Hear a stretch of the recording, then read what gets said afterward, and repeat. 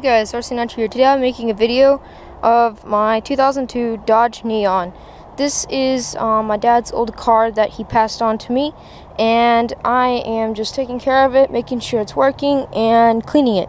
So this car is has some problems with it. It has heating issues and some other problems that I'm probably going to figure out later when I get older and get some tools. Um, but I just made this video to show you guys pretty much how to shine your car and make it look nice.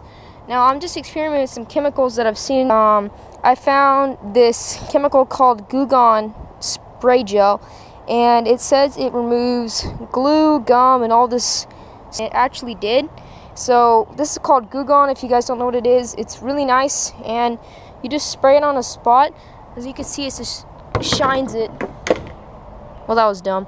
And you just wipe it it makes smear marks, but then like in three seconds, your car will look super shiny.